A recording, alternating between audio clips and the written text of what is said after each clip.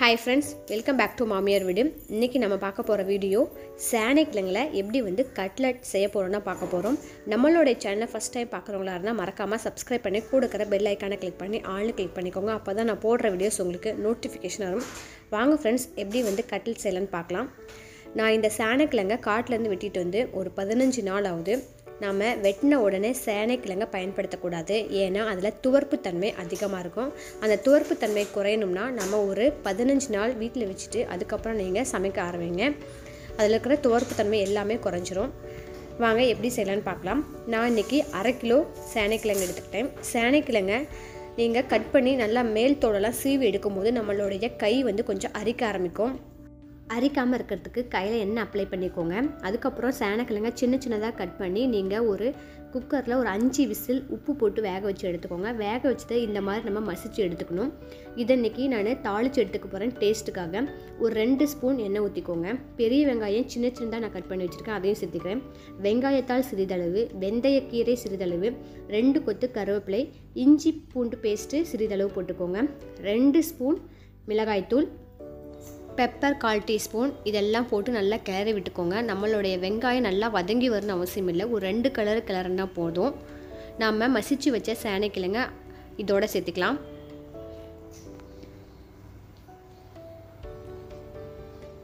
நம்ம சேனைக்கிழங்கு ஆல்ரெடி நம்ம வேக வச்சதுங்கிறதுனால நம்ம ஹை ஃப்ளேமில் வச்சு நல்லா கிளறி விட்டால் மட்டும் போதும். மசாலாவில் நல்லா மிங்கில் ஆகிற வரைக்கும் நல்லா கிளறி விட்டு எடுத்துக்கோங்க.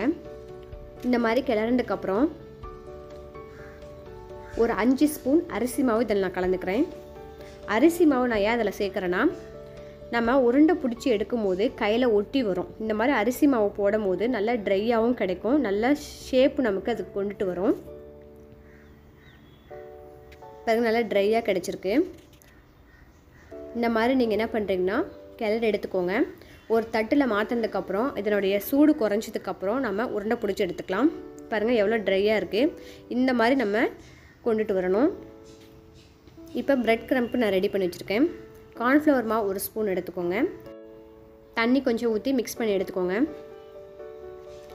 நம்ம ரெடி பண்ணி வச்ச சேனைக்கிழங்கு மசாலாவை நமக்கு எந்த ஷேப்க்கு வேணுமோ அந்த ஷேப்க்கு நீங்கள் உருண்டை பிடிச்சி வச்சுக்கோங்க. இன்றைக்கி நான் உருளை ஷேப்க்கு ரவுண்ட் பண்ணி எடுத்துக்கிறேன்.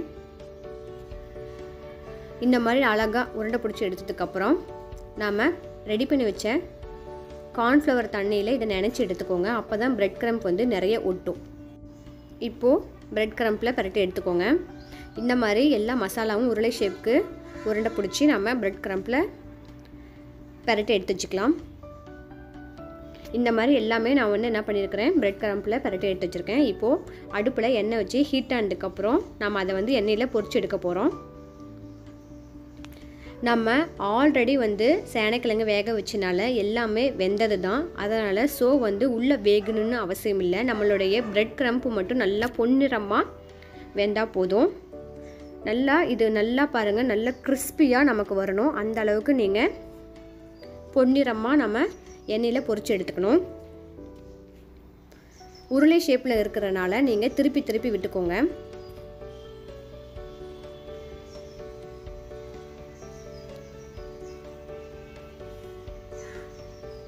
கருகு விட்டுறாதீங்க. ஏன்னா கருகிருச்சுன்னா நல்லா இருக்காது. இந்த மாதிரி பொன்னிறமாக வந்ததுக்கப்புறம் நம்ம எடுத்துடலாம். இதுதான் நம்மளுடைய சேனைக்கிழங்கு கட்லெட். நீங்களும் வீட்டில் மறக்காமல் செஞ்சு பார்த்துட்டு கமெண்ட் பண்ணுங்கள் பாருங்கள் நம்மளுடைய சேனைக்கிழங்கு கட்லெட் தயாராகிடுச்சு உங்களுடைய ஃபேமிலி அண்ட் ஃப்ரெண்ட்ஸுக்கு ஷேர் பண்ணுங்கள் பிடிச்சிருந்தால் லைக் பண்ணுங்கள் ஷேர் பண்ணுங்கள் கமெண்ட் பண்ணுங்கள் மறக்காமல் சப்ஸ்கிரைப் பண்ணுங்கள் பாய் ஃப்ரெண்ட்ஸ் தேங்க்ஸ் ஃபார் வாட்சிங்